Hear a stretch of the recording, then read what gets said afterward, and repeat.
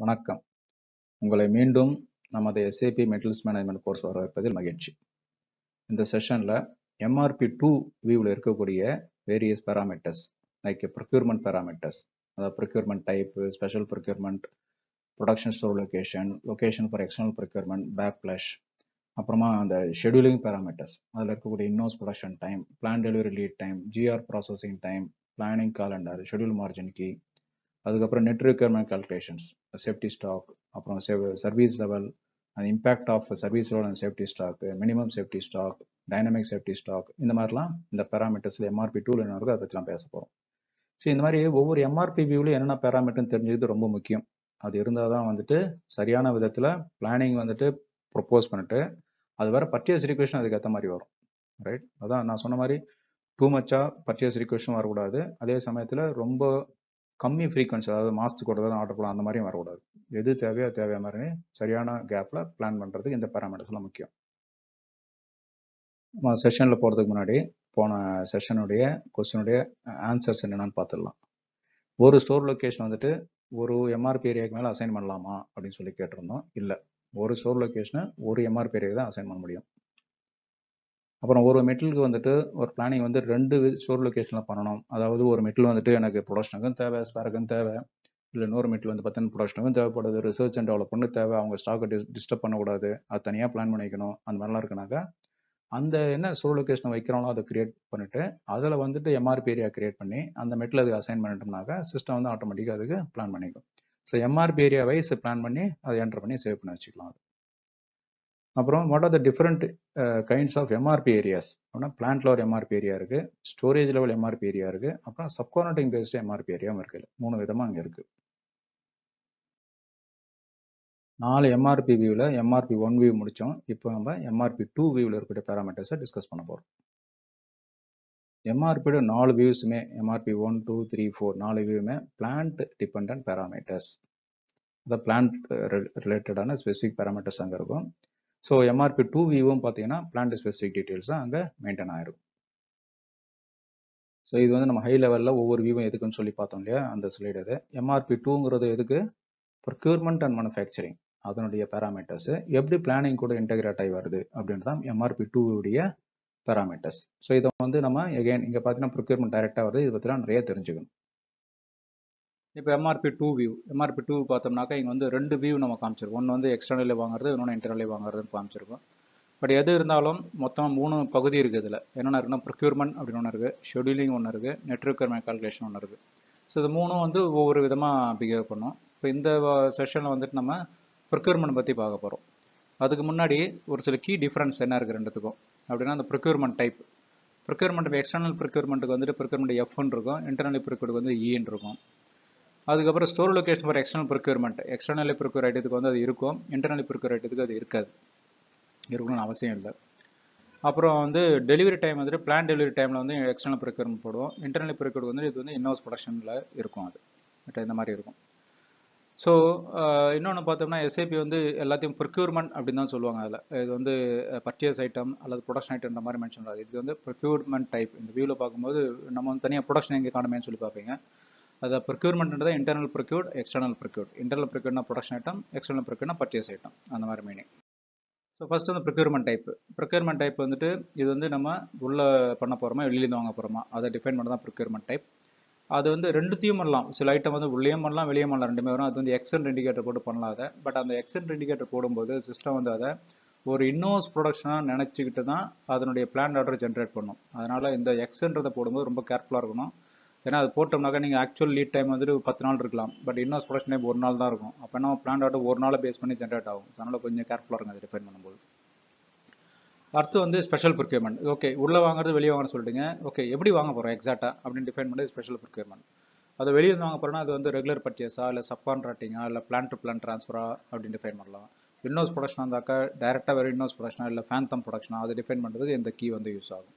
இதை வந்து further explanation இந்த டேபிள் இருக்குது பாருங்கள் அதாவது ப்ரொடக்ஷன் ஐட்டம் எல்லாம் பார்த்தீங்கன்னாக்கா ஒரு விதவிதமான ஸ்பெஷல் ப்ரொக்யூர்மெண்ட் டைப் பாருங்கள் பிளாங்க் இருக்குது பிளாங்க் இருந்துச்சுன்னா அது வந்து டைரெக்டாக எக்ஸ்டர்னல் ப்ரொக்யூர்மெண்ட் டென் இருந்ததுன்னா கன்சைன்மெண்ட் ஸ்டாக் தேர்ட்டி இருந்ததுன்னா சப்கார்னட்டிங் ஸ்டாக் ஃபார்ட்டி இருந்தால் plan to plan stock transfer அந்த மாதிரி இருக்குது அதே வந்து இன்னொரு ப்ரொடக்ஷன் ஈன்னு e இருந்து பிளாங்க் இருந்துச்சுன்னா அது வந்து டைரெக்டாக ப்ரொடக்ஷன் ஐட்டம் சப்போஸ் ஃபிஃப்டி இருந்ததுன்னா ஃபேந்தம் ஐட்டம் ஃபேந்தம் ஐட்டம் வந்து என்ன ஆகுனாக்கா இதனுடைய பேரண்ட் ப்ராடக்ட் ப்ரொடக்ஷன் ஆர்டர் போட்டிங்கனாக்கா இந்த ஐட்டத்துக்கு வந்து ப்ரொடக்ஷன் ஆர்டர் ஜென்ரே ப்ரொடக்ஷன் தனியாக ஜென்ரேட் ஆகுது. காம்பனண்ட் டைரெக்டாக எக்ஸ்ப்ளோட் ஆகும்.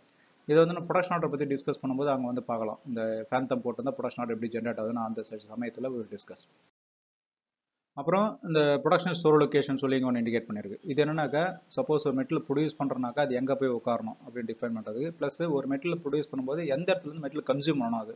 அது டிஃபைன் பண்ணது வரும். அதை பேக் ஃப்ளஷ் இண்டிகேட் பண்ணுறனாக்கா ஏன்னா பேக் ஃப்ளஷ் பண்ணும்போது சிஸ்டம் என்ன பண்ண ஆட்டோமேட்டிக்காக மெட்டில் வந்து கன்சியூம் பண்ணும். அப்போ எந்த லொக்கேஷன் கன்சியூம் பண்ணணும்? அது டிஃபைன் பண்ணுறது இந்த லொக்கேஷன் யூஸ்ஃபுல்லாக இருக்கும். அப்புறம் ஸ்டோர் லொக்கேஷன் ஃபார் இபின்னு இருக்கு இபினா எக்ஸ்டர்னல் ப்ரொக்யூர்மெண்ட் மெட்டீரியல் வெளியிலேருந்து வாங்கும்போது அது வந்து எங்கே வந்து உள்ள ஆட்டோமேட்டிக்காக டிஃபால்ட்டாக வர்றதுக்கான லொக்கேஷன் அது. ஸோ இதை டிஃபைன் பண்ணிட்டீங்கன்னா மெட்டில் ஜிஆர்என் அதாவது குட்ஸ் ஸ்விட் போடும்போது சிஸ்டம் வந்து ஆட்டோமேட்டிக்காக அந்த ஸ்டோர் லொக்கேஷன் செலக்ட் பண்ணி அங்கே போய் ஸ்டாக் வந்து உட்கார மாதிரி பண்ணிடுறாங்க. அடுத்தது பேக் ஃப்ளஷ் பேக் ஃப்ளஷ்ன்றது வந்து நம்ம மெட்டல் வந்து மேனுவலாக ப்ரொடக்ஷன் ஆர்டர் கொடுக்குறோமா இல்லை ஆட்டோமேட்டிக்காக இஷ்யூ பண்ணணுமா இந்த பேக் ஃப்ளஷ் இண்டிகேட்டர் பிளாங்காக விட்டோம்னாக்கா நம்ம மேனுவலாக கொடுக்குற மாதிரி இருக்கும். சப்போஸ் ஏதாவது வேல்யூ போட்டோம்னாக்கா ஆட்டோமேட்டிக்காக எடுக்கும். வேல்யூனா ஒன்றுன்னு போட்டோம்னாக்கா மெட்டல் மாஸ்டர் போட்டோம்னாக்கா அது எல்லா இடத்துலையும் பேக் ஃப்ளஷ் எடுத்துக்கும் சப்போஸ் ரெண்டுன்னு போட்டோம்னா ஒர்க் சென்டர் பேஸ் பண்ணி எடுத்துக்கும் அந்த டெஃபினேஷன்ஸ் வந்து மாறும் அது. ஸோ அதுக்கேற்ற மாதிரி இங்கே இண்டிகேட்டர் டிஃபைன் பண்ணணும். முதல்ல வந்து plan delivery time plan delivery டைம்ன்றது என்னது? ஒரு மெட்டலுடைய லீட் டைம் ஒரு சப்ளையருக்கு மெட்டல் பர்ச்சேஸ் ஆர்டர் கொடுக்குறோம். நம்மக்கிட்ட உள்ளே வர வரைக்கும் இருக்கக்கூடிய டைம் என்ன? பிளான்ட்டுக்கு வர டைம் வரைக்கும். அதான் வந்து பிளான் டெலிவரி லீட் டைம் இது வந்து டிரான்சிட் டைமை சேர்த்து. டிரான்சிட் டைம் இதில் இன்க்ளூட் ஆகிருக்கு பட் இதில் குட்ஸ் விசிட் டைம் வந்து இன்க்ளூட் ஆகலை. ரைட்டா இது வந்து பிளான்ட் கேட் வர வரைக்கும் தான். அதுக்கப்புறம் உள்ள இன்வெர்ட் பண்ணுறதெல்லாம் ஜிஆர் ப்ராசஸிங் டைமில் மென்ஷன் ஆகும். ஸோ ஜிஆர் ப்ராசஸிங் டைம்னா என்னது? அதாவது மெட்டல் கேட்டுக்கு வந்த அப்புறம் அதை இறக்குற டைமு அதை கிளியர் பண்ணுற டைம் குவாலிட்டி செக்கிங் அதுக்கப்புறம் வேறு எதனா செக்கிங் இருக்கா அதெல்லாம் போட்டு பண்ணுறது GR processing time so GR processing டைம்ன்றது அதிகமாகவும் இருக்கக்கூடாது. ஸோ மெட்டல் உள்ளே வந்தால் டக்கு டக்குன்னு பிளான் பண்ணி உள்ளே இறங்கி வச்சிடணும் அதை. ஸோ அதுக்கு நிறைய எஃபோர்ட் போட்டு ஜிஆர் ப்ராசஸிங் டைம் குறையுது நம்ம ட்ரை பண்ணணும். அப்புறம் ஓவரால் லீட் டைம் குறையும். Mean time plan delivery time பார்த்தீங்கன்னா அது வந்து கேலண்டர் டேஸில் டிஃபைன் பண்ணியிருக்கு கேலண்டர் டேஸ்னா என்ன? ஒரு வாரம் இருக்குது ஏழு நாட்கள் இருக்குன்னா ஏழு நாட்களும் வந்து கேலண்டர் டேஸ் தான். ஸோ அதை வந்து பிளான் டெலிவரி டைம் அந்த டேட்டில் இருக்கும். இப்போது ஜிஆர் பர்சன்ட் வந்து ஒர்க்கிங் டேஸில் டிஃபைன் இருக்கும் அப்போனா சப்போஸ் ஒரு வாரத்தில் வந்து ஒரு சண்டே லீவுன்னு வச்சுக்கோங்க. அப்போ மீதி ஆறு நாள் இருக்கு இல்லையா? அந்த ஆறை தான் வந்து சிஸ்டம் கன்சிடர் பண்ணுவோம் நீ ஏழு டிஃபைன் பண்ணால் அடுத்த மண்டே போயிடும். So plan delivery time it's mentioned in calendar days GR processing time is mentioned in working days இந்த வித்தியாசத்தை நீ கிளியராக புரிஞ்சுக்கணும். சிஸ்டமோட லீட் டைம் என்ன அனலைஸ் பண்ணும்போது. அடுத்தது in house production time in house production டைம்ன்றது ஒரு மெட்டீரியல் வந்து ஜென்ரலாக உள்ள ப்ரொடியூஸ் பண்ண எவ்வளோ டைம் ஆகும் அப்படின்னு பார்க்குறது. இது வந்து சைக்கிள் டைம் கிடையாது. ஃபார் எக்ஸாம்பிள் மெட்டீரியல் ப்ரொடியூஸ் பண்ணுறது உங்களுக்கு பத்து நிமிஷம் ஆகலாம் கால் மணி நேரம் ஆகலாம் ஒரு மணி நேரம் ஆகலாம். பட் அந்த டைம் வந்து இங்கே வரல. அதுவும் ரூட்டிங்கில் மெயின்டைன் பண்ணியிருக்கோம் இங்கே இருக்கிறது வந்துட்டு ஜென்ரலாக ஒரு ப்ரொடக்ஷன் ஆர்டர் கொடுத்து மெட்டீரியல் உள்ள என்ன டைம் இது வந்து ஷெடியூலிங் பர்பஸ் யூஸ் ஆகும். இன்னோஸ் ப்ரொடக்ஷன் டைம் ரைட்டுங்களா? ஸோ இந்த டைம் வந்துட்டு ஒர்க்கிங் டேஸில் டிஃபைன் பண்ணிருக்கும். அதையும் பார்த்துங்க so in house production time வந்து ஒர்க்கிங் டேஸில் இருக்குது பிளான் டெலிவரி டைம் வந்து கேலண்டர் டேஸில் இருக்குது ஜிஆர் ப்ரொசன் டைம் வந்துட்டு ஒர்க்கிங் டேஸில் இருக்குது இந்த வித்தியாசத்தை நீங்கள் கிளியராக புரிஞ்சுக்கணும். அடுத்தது schedule margin key schedule margin கீனா என்ன? ஷெடியூல் மார்ஜின் கீன்றது வந்து ஒரு அட்மினிஸ்ட்ரேட்டிவ் பர்பஸ்க்காக கொடுத்துருக்கக்கூடிய ஒரு டைம் குஷன் அதான் ஷெடியூல் மார்ஜின் கீ இது வந்து ஓப்பனிங் பீரியட்னு ஒன்று இருக்குது ஓப்பனிங் பீரியட்னா என்ன? ஒரு பிளான் ஆர்டர் கிரியேட் ஆயிருக்கு. அதை எடுத்து அனலைஸ் பண்ணி அது ஷார்ட்டேஜ் இருக்கா இல்லையா? ரெக்குயர்மெண்ட் இருக்கா இல்லையான்னு பார்த்துட்டு அது ப்ரொடக்ஷன் ஆர்டர் கன்வெர்ட் பண்ணுறது ஒரு டைம் தேவைப்படும். அந்த இருக்குது அதை வந்து ஓப்பனிங் பீரியட் நீங்கள் டிஃபைன் பண்ணிக்கலாம். One or days two days இல்லை த்ரீ டேஸ் வச்சுக்கலாம். அடுத்தது float after production before production அதாவது ப்ரொடக்ஷனுக்கு முன்னாடி கொஞ்சம் கொஷன் ப்ரொடக்ஷனுக்கு அப்புறம் கொஞ்சம் கொஷன் இதெல்லாம் வைக்கிறது வந்து float before production after production அடுத்தது வந்து ரிலீஸ் பீரியட் ரிலீஸ் பீரியட்னாக்கா ஒரு plan order production order create பண்ண அப்புறம் ரிலீஸ் பண்ணுறதுக்கு மேபி இன்னொரு ஒன் ஆர் டூ டேஸ் ஆகும் அப்படின்ற மாதிரி இருந்துச்சுனாக்கா அந்த ரிலீஸ் பீரியட் யூஸ் பண்ணிக்கலாம் அது. பட் பி கேர்ஃபுல் இது எல்லாமே ஒரு அட்மினிஸ்ட்ரேட்டிவ் பர்பஸ்க்காக தான். அதாவது இன்னைக்கு கிரியேட்டாக இன்றைக்கே ஸ்டார்ட் பண்ணணும் அப்படின்ற மாதிரி ஸ்டேஜ் இருக்கக்கூடாது ஏன்னா அது வந்து டக்குன்னு ஒரு ப்ரொப்போசல் வந்து அன்னைக்கே போட்டு கிரியேட் பண்ணி கொடுத்து ரொம்ப கஷ்டமான விஷயம். அப்போ வந்து ஒரு ஒரு நாளோ ரெண்டு நாளோ இல்லை மூணு நாள் நமக்கு தேவைப்படும். அந்த டைமை டிஃபைன் பண்ணிட்டு தான் இது இருக்கே தவிர நிறைய குஷன் கொடுத்ததே கிடையாது அது. அதனால ரொம்ப கேர்ஃபுல்லாக எவ்வளோ மினிமம் இருக்கணும் அவ்வளோ மினிமம் அந்த டைமை டிஃபெண்ட் வச்சா நமக்கு நல்லது. இல்லாட்டி அதிகமாகப்பட்ட என்ன ஆகும்? மெட்டல் அட்வான்ஸை வாங்கி வச்சிருவோம் இன்வென்ட்ரி ஏறும் தேவையில்லாமல் போய் நம்ம அனலைஸ் பண்ணிட்டு வேண்டியிருக்கும் ஸோ அதனால இது மினிமம் அதாவது அட்மினிஸ்ட்ரேட்டிவ் பர்பஸ்க்காகவும் இருக்கணும் அதே சமயத்தில் ரொம்ப அதிகமாக இருக்கக்கூடாது. அந்த மாதிரி பார்த்து கேர்ஃபுல்லாக யூஸ் பண்ணிக்கணும் அது. அடுத்தது பிளான் டெலிவரி டைம் நம்ம அங்கே பார்த்தோம் இல்லையா? அதை பற்றி இன்னும் கொஞ்சம் டீட்டெயிலாக பார்க்கலாங்க பிளான் டெலிவரி டைம்ன்றது வந்து மெட்டல் உள்ளே வரதுக்கான அதாவது சப்ளையர் இருக்கக்கூடிய லீட் டைம்னு பார்த்தோம். இது மெட்டல் மாஸ்டில் இருக்கும். இல்லாட்டி பர்ச்சேஸ் இன்ஃபோ ரெக்கார்ட்லேயும் மெயின்டைன் பண்ணியிருக்கோம் பர்ச்சேஸ் இன்ஃபோ ரெக்கார்டில் மெயின்டைன் பண்ணால் அதுதான் சிஸ்டம் வந்து ப்ரியாரிட்டி எடுத்துக்கும். இது எந்த மாதத்துலையுமே இல்லைன்னு வச்சுங்களேன் அது என்ன பண்ணோம்னாக்கா அது வந்து ஒரு பர்ச்சேஸ் ஆர்டர்லையும் போய் டிஃபைன் பண்ணிக்கலாம் அதை. பட் அந்த பர்ச்சேஸ் ஆர்டருக்கு மட்டும் தான் அது அப்ளை ஆகும். அந்த எக்ஸ்டர்னல் ப்ரொக்யூர்மெண்ட் வந்துட்டு எப்படி ஒர்க் பண்ணும் அப்படின்னாக்கா முதல்ல வந்துட்டு ரெக்குயர்மெண்ட் டேட் என்ன அது அவைலபிள் டேட் என்னன்னு பார்ப்போம். ஜிஆர் ப்ராசஸிங் டைம் கழிச்சிட்டு மீதி ஒரு டேட் ஜிஆர் டேட்னு எடுத்துக்கும் அந்த GR டேட்லேருந்து plan delivery time purchasing department processing time கழிச்சாக்க அந்த ஓப்பனிங் டேட்னு ஒரு அதாவது ரிலீஸ் டேட் வந்து நிற்கும் ஸோ ரிலீஸ் டேட்லேருந்து ஓப்பனிங் டேட் கழிச்சாக்கா ஓப்பனிங் டேட் கிடைக்கும். ஸோ இந்த மாதிரி தான் ஷெடியூல் இருக்கும். ஸோ ஒவ்வொரு டைம்லேயும் வந்து நீங்கள் வந்து ஒரு ஆர்டர் வந்து ரிலீஸ் ஆகும்போது எனக்கு ஸ்டார்டிங் டேட் இங்கே வந்துருச்சு இந்த டேட் இங்கே இருக்குது அப்படின்னாக்கா இந்த ஆஸ்பெக்டில் ஸ்பிளிட் பண்ணி பாருங்கள் அதில். ஒவ்வொன்றும் ஒரு டேட்டில் இருக்கும் அது. அந்த டேட்டை செக் பண்ணி பார்த்தீங்கன்னா இந்த எக்ஸாக்டாக இந்த டேட்டா பேஸ் பண்ணி கால்குலேட் பண்ணியிருக்கோம் சிஸ்டமில் வர்றது. மீன் டைம் நமக்கு வந்து இந்த பிளான் டெலிவரி டைம் வந்து அனலைஸ் பண்ணணும்.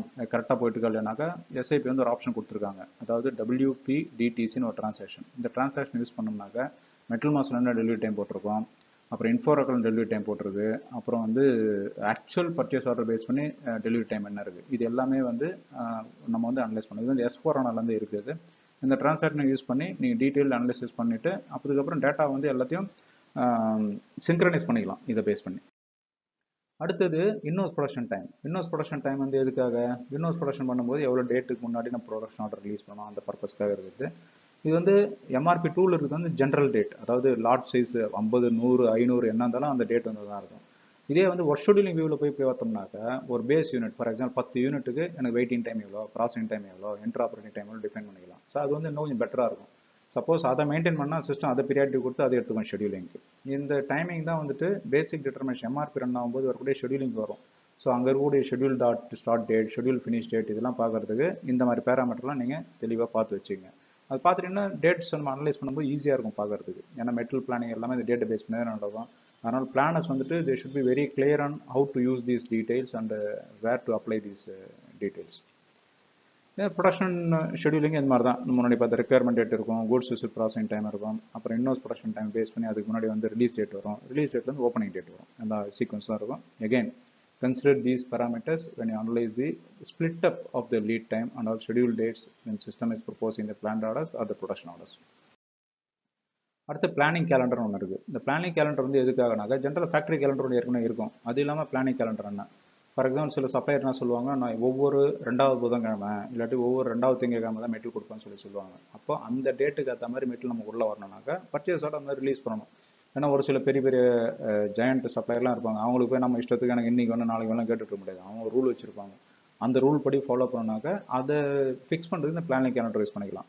ஃபார் எக்ஸாம்பிள் வந்து ஒரு பர்டிகுலர் பிளானிங் சப்ளையர் வந்துட்டு எவ்ரி டூ வீக்ஸ் தான் மெட்டல் கொடுப்போம்னா அந்த டூ வீக்ஸ் சைக்கிள் இருக்கிற மாதிரி பிளானிங் கேலண்டர் டிஃபைன் பண்ணிட்டு அதை கொண்டு வந்து மெட்டில் அசைன் பண்ணிட்டீங்கனாக்கா சிஸ்டம் ப்ரொப்போஸ் பண்ணும்போது அந்த ப்ரொப்போசல் வந்து அந்த கேலண்டருக்கு ஏற்ற மாதிரி வரும். ஸோ நம்ம கன்ஃபியூஷன் இல்லாமல் ரிலீஸ் பண்ணலாம் அதை. அப்போ என்ன செய்யணும்? அந்த லீட் டைம்க்கு ஏற்ற மாதிரி சேஃப்டி ஸ்டாக் அதுக்கான லாட் சைஸ் இது எல்லாமே டிஃபைன் பண்ணி ப்ராப்பராக மற்ற பேராமீட்டர்ஸ் அதுக்கு அலைன் பண்ணியிருக்கணும் அதில் வந்து கொஞ்சம் கேர்ஃபுல்லாக இருக்கணும். அதில் முதல்ல சேஃப்டி ஸ்டாக் சேஃப்டி ஸ்டாக்ன்றது என்னது? சேஃப்டி ஸ்டாக்ன்றது ஒரு டிமாண்ட்லேயோ இல்லை சப்ளைலையோ நிறைய ஃப்ளக்சுவேஷன் இருந்ததுனாக்கா அதாவது variation in supply and demand இருந்ததுனாக்கா அதை மேனேஜ் பண்ணுறதுக்காக தான் சேஃப்டி ஸ்டாக் இப்போ ஃபார் எக்ஸாம்பிள் ஒரு சப்ளையர் வந்து கன்சிஸ்டண்டாக சப்ளை பண்ணல திடீர்னு லேட் ஆகுது அப்படின்னாக்கா அப்போ கொஞ்சம் கையில் சேஃப்டி ஸ்டாக் இருந்தால் அதை கவர் பண்ணிடலாம். அதே மாதிரி டிமாண்ட் வந்து திடீர்னு அதிகமாகுது அப்போ வந்து எக்ஸாக்ட் பிளான் படி வச்சிருந்தோம்னாக்கா அந்த அதிகமான டிமாண்டை கொடுக்க முடியாது. அதுக்கு சேஃப்டி ஸ்டாக் வைக்கலாம். So variation and demand and supply அதை மேனேஜ் பண்ணுறது தான் சேஃப்டி ஸ்டாக் இருக்குது இதில் இன்னொரு பேராமீட்டர் ஒன்று இருக்குது சேஃப்டி ஸ்டாக் அவைலபிலிட்டி அப்படின்னு சொல்லிட்டு. இப்போ நார்மலாக சேஃப்டி ஸ்டாக்னாக்கா சிஸ்டம் வந்து டிமாண்டாக எடுத்துக்கும் அதை. அதே சமயம் ஒரு நூறு நம்பர் சேஃப்டி ஸ்டாக் போடுறீங்க. உங்களுக்கு ரெக்குயர்மெண்ட் வந்து அந்த நூறு நம்பருக்கு கீழே போச்சுனாக்கா இமீடியட்டாக என்ன பண்ணும்? சிஸ்டம் வந்து ஒரு ரெக்குயர்மெண்ட் ட்ரிகர் பண்ணும் ப்ரொக்யூர்மெண்ட் ட்ரிகர் பண்ணும். பட் அந்த மாதிரி ஒரு நம்பர் ரெண்டு நம்பர்லாம் குறைஞ்சது நிறைய டைம் வந்துட்டே இருந்துன்னு வச்சுங்களேன் ப்ரொக்யூர்மெண்ட் ப்ரொப்போசல் வந்து ரொம்ப கன்ஃபியூஸ் பண்ணுற மாதிரி இருக்கும். அதனால் ஒரு ten percent of safety stock வரைக்கும் எனக்கு கொஞ்சம் அட்ஜஸ்ட் பண்ணிக்கலாம். அதுக்கப்புறம் கீழே போச்சுன்னா எனக்கு கிரியேட் பண்ணு புது ப்ரொக்யூர்மெண்ட் அது வரைக்கும் பண்ணாத அப்படின்றத செட் பண்ணலாம். அப்போ ten percent of safety stock வந்து சேஃப்டி ஸ்டாக் அவைலபிலிட்டின்னு சொல்லி கான்ஃபிகரேஷனில் செட் பண்ணலாம். பண்ணோம்னாக்க நூறு நம்பர் சேஃப்டி ஸ்டாக் இருக்குன்னா அது தொண்ணூத்தொம்பது நம்பருக்கு கீழே உங்கள் ஸ்டாக் வந்தால் கூட இமீடியட்டாக ட்ரிகர் பண்ணாது. அந்த தொண்ணூறு வரைக்கும் வெயிட் பண்ணால் அதுக்கப்புறம் தான் ட்ரிகர் பண்ணும். ஸோ சேஃப்டி சார்ந்த பேராமீட்டர் உங்களுக்கு இருக்க டிமாண்ட் கால்குலேட் பண்ணுறதுக்கு அதே சமயத்தில் இந்த ஒன்று ரெண்டு டிவியேஷன்ஸ்க்குலாம் டக்கு டக்குன்னு சிஸ்டம் கிரியேட் பண்ணாமல் நீங்கள் டிஃபைன் பண்ணுற பர்சன்டேஜ் அது it maybe two percent three percent five percent ten percent வரைக்கும் டிஃபைன் பண்ணிங்கன்னா அந்த பர்சன்டேஜுக்கு அப்புறம் ட்ரிகர் பண்ணும் ப்ரொக்யூர்மெண்ட் ஸோ இது வந்து நமக்கு ப்ரொக்யூர்மெண்ட்ஸ் வந்து ஒரு ஸ்டெபிலைஸ் பண்ணி கொடுக்குறதுக்கு யூஸ் ஆகும். அடுத்தது சர்வீஸ் லெவல் சர்வீஸ் லெவல் அப்படின்றது என்னன்னாக்கா நம்ம வந்து எந்த அளவுக்கு ஒரு மெட்டீரியல் வந்து கையில் வச்சிருக்கணும் ஒரு தேவையான அளவு சேஃப்டி ஸ்டாக் வச்சிருந்தாக்க எவ்வளோ சர்வீஸ் கொடுக்கலாம். For example ninety five percent of the time வந்து அந்த மெட்டீரியல் எப்பவுமே இருக்கணும் அப்படின்னா ninety five percent service level எனக்கு ninety percent of the time வந்து எப்பவுமே மெட்டீரியல் இருக்குன்னா நைன்ட்டி பர்சன்ட் சர்வீஸ் லெவல் அந்த மாதிரி ஒரு தான் இங்கே டிஃபைன் பண்ணுறது ஸோ அந்த சர்வீஸ் லெவல் வந்து அதிகமாக அதிகமாக சேஃப்டி ஸ்டாக் ரெக்குயர்மெண்ட் அதிகமாகும். இங்கே பக்கத்தில் கிராஃப் ரெஃபர் பண்ணி பாருங்கள் ninety percent of safety stock service level இருக்கணும்னாக்கா நீங்கள் ஸ்டாக் வந்து கிட்டத்தட்ட ஒரு ஹண்ட்ரட் நம்பர்ஸ் இருந்தால் போதும். Safety stock. Ninety five percent இருந்துச்சுன்னா மேபி ஒரு hundred and ten hundred twenty தேவைப்படும். அதே நைன்டி செவன் பாயிண்ட் ஃபைவ் போச்சுன்னா இரநூறு நம்பர் தேவை. நைன்டி செவன் பாயிண்ட் ஃபைவ்லேருந்து நைன்ட்டி எயிட் பாயிண்ட் எயிட் போச்சுன்னா அந்த ஒன் பாயிண்ட் த்ரீ பர்சன்ட்டுக்கு நானூறு நம்பர் தேவைன்னு வருது. அப்புறம் நைன்ட்டி எயிட் பாயிண்ட் எயிட்லேருந்து நைன்டி நைன் பாயிண்ட் ஃபைவ் போச்சுன்னா எட்நூறு நம்பர் ஆகுது பாருங்க. ஸோ நம்ம நிறைய அவைலபிலிட்டி இருக்க இருக்க சேஃப்டி ஸ்டாக் அதாவது நைன்டி ஃபைவ் பர்சன்ட்டுக்கு மேலே ஒவ்வொரு பர்சன்டேஜ் இன்க்ரீஸ் பண்ண இன்க்ரீஸ் பண்ண சேஃப்டி ஸ்டாக் அளவு இன்க்ரீஸ் ஆகிட்டே போகும். பட் நார்மலாக நைன்ட்டி ஃபைவ் பர்சன்ட் வச்சாலும் நமக்கு போதும். அது இல்லாமல் இந்த safety stock service level define பண்ணுறது வந்து நம்ம reorder point and safety stock automatic reorder point calculation பண்ணும்போது இது யூஸ்ஃபுல்லாக இருக்கும். அடுத்தது மினிமம் சேஃப்டி ஸ்டாக் இது என்னன்னாக்கா எவ்வளோ லோயர் லிமிட் லெவலில் இருக்கலாம் சேஃப்டி ஸ்டாக்னு சொல்லி டிஃபைன் பண்ணுறதுக்கு இதுவும் வந்து ஃபோர்காஸ்டிங் அப்போ ஆட்டோமேட்டிக் சேஃப்டி ஸ்டாக் கால்குலேஷன் பண்ணுறதுக்கு யூஸ் ஆகும். அடுத்து கவரேஜ் ப்ரொஃபைல் கவரேஜ் ப்ரொஃபைல்னா இப்போ சேஃப்டி ஸ்டாக் முன்னாடி ஃபீல்டு டிஃபைன் பண்ணோம் இல்லையா? அது வந்து static hundred number hundred number two hundred two hundred number இல்லை இல்லை அப்படி இல்லை. எனக்கு இன்னைக்கு வந்து கன்சம்ஷன் வந்து நிறைய ஆச்சு இல்லை கம்மி கம்மியாச்சு. எதிர்காலத்தில் வந்து ரெக்குயர்மெண்ட் நிறைய இருக்குது கம்மி இருக்குனாக்க அதுக்கேற்ற மாதிரி சேஃப்டி ஸ்டாக் எனக்கு இன்க்ரீஸ் ஆகணும் டிக்ரீஸ் ஆகணும் டிஃபைன் பண்ணுறது இந்த ப்ரொஃபைல் யூஸ் பண்ணலாம். இந்த ப்ரொஃபைல் என்ன பண்ணணும் அந்த ஃபார்முலா கொடுத்துரு பாருங்க. அந்த dynamic safety stock equal to average daily requirement in range of coverage இந்த ஃபார்முலா பேஸ் பண்ணி சேஃப்டி ஸ்டாக்கை இன்க்ரீஸ் பண்ணி டிக்ரீஸ் பண்ணி கொடுக்கும். அப்போ என்ன ஆகுனா நமக்கு திடீர்னு ரெக்குயர்மெண்ட் இன்க்ரீஸ் ஆகுறதா இல்லை கம்மியாகுதோ அதுக்கேற்ற மாதிரி சேஃப்டி ஸ்டாக் வந்து நம்ம ஃப்ளக்சுவேட்டிங்கில் வச்சுட்டு இது யூஸ் பண்ணிக்கலாம் அதை. ஸோ அந்த ரேஞ்ச் ஆஃப் கவரேஜும் கஸ்டமைசேஷன் பண்ணிட்டோம்னா அந்த ப்ரொஃபைல் கொண்டு வந்து யூஸ் பண்ணிடலாம். அடுத்தது சேஃப்டி டைம் இண்டிகேட்டர் இது என்னன்னாக்கா எனக்கு சேஃப்டி ஸ்டாக் நான் டிஃபைன் பண்ணலப்பா. அதுக்கு பதிலாக எனக்கு மெட்டில் வந்துட்டு ஒரு பத்து நாளைக்கு முன்னாடியே வந்துடணும் இல்லை அஞ்சு நாளைக்கு முன்னாடி வரணும். அப்படின்றத டிஃபைன் பண்ணோம்னாக்கா இந்த சேஃப்டி ஸ்டாக் இண்டிகேட்டர் அந்த இண்டிகேட்டர் போட்டோம்னாக்கா இந்த சேஃப்டி டைம் இருக்கு பாருங்கள் அது எத்தனை நாளைக்கு முன்னாடி வரணும்? அஞ்சு நாளைக்கு முன்னாடி வரணுமா? பத்து நாளைக்கு முன்னாடி வரணுமா? அப்படின்றது சேஃப்டி டைம் இண்டிகேட்டர் டிஃபைன் பண்ணலாம். இது இல்லாமல் அந்த சேஃப்டி டைம் பீரியட் ப்ரொஃபைல் ஒன்று இருக்குது அதாவது எப்போ இருந்து ஸ்டார்ட் ஆகி எந்த நாள் வரைக்கும் இருக்கலாம் அது அந்த முன்னாடி வரலாம் அப்படின்னு வேலிட் பண்ணுறது இங்கே இருக்கும். ஸோ இது எல்லாமே நம்ம கன்சல்டன்ட் கூட சேர்ந்து கான்ஃபிகர் பண்ணிட்டு அந்த ஃபீல்டு கொண்டு வந்து யூஸ் பண்ணிங்கனாக்க அந்த நம்பர் ஆஃப் டேஸ்க்கு ஏற்ற மாதிரி முன்னாடி மெட்டல் வரும். ஸோ இது வந்து ஒரு வகையான சேஃப்டி டைம் இது. அதாவது சேஃப்டி ஸ்டாக்காக வைக்காமல் கொஞ்சம் முன்னாடி வாங்கி வச்சுக்கிறது. இதுவும் ஒரு ஆப்ஷன் நம்ம யூஸ் பண்ணிக்கலாம். இந்த செஷனில் நம்ம எம்ஆர்பி டூவில் இருக்கக்கூடிய முக்கியமான அந்த பேராமீட்டர்ஸ் எல்லாம் பற்றி தெரிஞ்சுக்கிட்டோம். அதாவது ப்ரொக்யூர்மெண்ட்டில் இருக்கக்கூடிய procurement type special procurement type அப்புறம் store location for production external procurement backflush பற்றிலாம் பார்த்தோம்.